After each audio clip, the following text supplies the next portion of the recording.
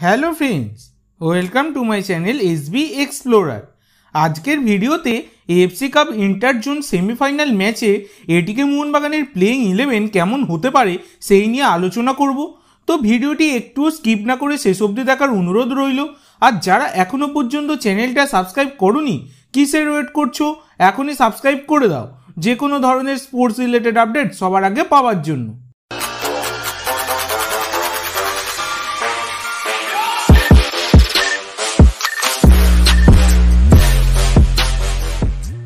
আগামীকাল এফসি নাসাব বনাম এটিকে মোহনবাগান ম্যাচ রয়েছে, যেটা ভারতীয় সময় রাত সাড়ে আটটায় স্টার স্পোর্টস নেটওয়ার্ক ও হটস্টারে লাইভ দেখা যাবে।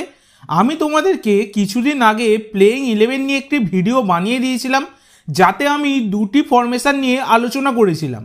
কিন্তু বর্তমানে হাবাস তার ট্যাকটিস চেঞ্জ করতে চলেছেন।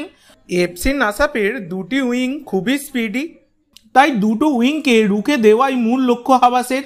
তাই হাবাস রাইট উইংয়ে প্রবীর দাসকে ফেরাতে পারেন। কারণ প্রবীরের অ্যাটাকিংয়ের পাশাপাশি ডিফেন্সিভ কোয়ালিটিও বেশ ভালো এবং লেফট উইংয়ে হাবাসের সেরা অস্ত্র সোসাইরাজ ফিরতে চলেছেন এই ম্যাচে। এই ম্যাচে সবুজ মেরুন জার্সিতে ডিবিউট হবে জনি কাউকোর। মাঝমাঠে দীপক টাংরির জায়গায় খেলবেন কাউকো। অ্যাটাকিং মিডফিল্ডে হুগো বুমাসের জায়গায় ডেভিড উইলিয়ামসকে ইউজ করতে পারেন হাবাস। কারণ ডেভিড আইএসএলে অনেক সময় অ্যাটাকিং মিডফিল্ডেও খেলেছেন। ডেভিডের জায়গায় ফরওয়ার্ডে মনবীরকে খেলাতে পারেন হাবাস। হাবাস তার ফেভারিট ফরমেশন মানে থ্রি ফাইভ টুতেই দল সাজাবেন। চট করে দেখে নেওয়া যাক প্লেয়িং ইলেভেন কেমন হতে পারে।